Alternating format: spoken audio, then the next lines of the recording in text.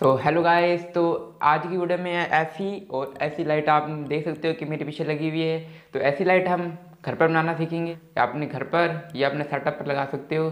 तो वीडियो को लाइक कर देना और चैनल को सब्सक्राइब कर देना। तो ऐसी लाइट बनाना स्टार्ट करते हैं। तो सबसे पहले हमने दो डिब्बे ले लेने जो कि वाइट कलर के हैं। तो डिब्बे हमने ले लिए इसके बाद इसके जो ढक्कन है तो मैं इसके ढक्कन खोल देता हूँ। तो फ़र्स्ट वाले का ढक्कन मैं अभी खोल देता हूँ। तो मैं दूसरे का भी खोल देता हूँ। और ये वाला मैंने खोल दिया, दूसरे वाला का खोल देता हूँ क्यों रख दिया मैंने इसको वहाँ पर। तो इसको भी मैं यहाँ पर खोल देता हूँ और खोलने के बाद अब हमें ज़रूरत है दो एलईडी की, जो कि हमें अपने कलर के हिसाब से चूज़ कर लेनी है। आप, आपने जो भी कलर लगाना हो, वो कलर लगा सकते हो। तो यहाँ पर ऐसे करके चिपकाना इन दोनों को। तो यहाँ पर भी इसको मैं चिपका दूँगा। तो इसको चिपका दूँगा। उसके बाद हमें करनी पड़ेगी शोल्डरिंग तो शोल्डरिंग करने के लिए पहले हमें वायर की ज़रूरत पड़ेगी। तो वायर ले लेता हूँ मैं।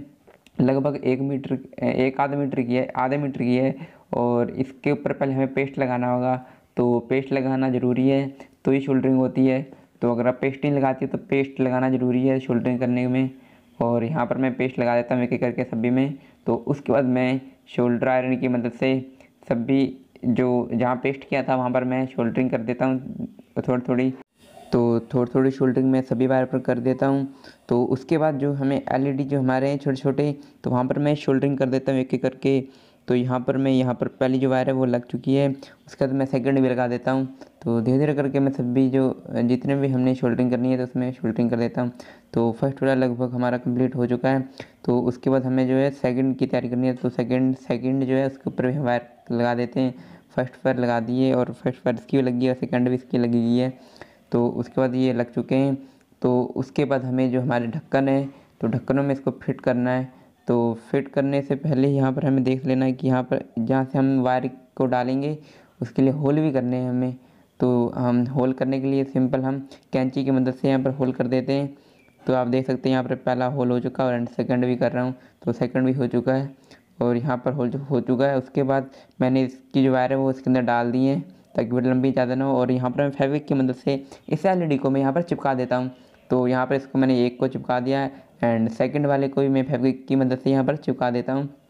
तो आप देख सकते हो कि यहाँ पर मैंने इसको भी चिपका दिया है। तो चिपकाने के बाद थोड़ी देर बाद मैंने इसके ऊपर थोड़ी सी टेप भी लगा दी आप देख सकते हो कि मैंने यहाँ टेप लगा दी है और ये चिपक नहीं रहे थे अच्छे से तो मैंने थोड़ी सी टेप लगा दी। तो उखड़ेंगे नहीं इससे इसलिए तो मैंने टेप लगा दी। तो उसके बाद ये हमने जो ये ढक्कन है तो वहाँ ढक्कन और उसकी बॉक्स में लगा देने हैं, जिसकी ढक्कन है। तो बॉक्स में मैंने लगा दी ढक्कन है, फ़र्स्ट का लग चुका है। उसके बाद हमने सेकंड का भी लगा देना है तो सेकंड का भी लग के कंप्लीट है। और उसके बाद हमें ज़रूरत पड़ेगी इसको पावर सप्लाई करने की। तो पावर सप्लाई कैसे करेंगे? तो उसके लिए मैंने ली है बैटरी, जो कि है थ्री पॉइंट सेवन वाट की पाँच सौ बैटरी है। तो आपको ये कहीं से मिल जाएगी, मार्केट से मिल जाएगी।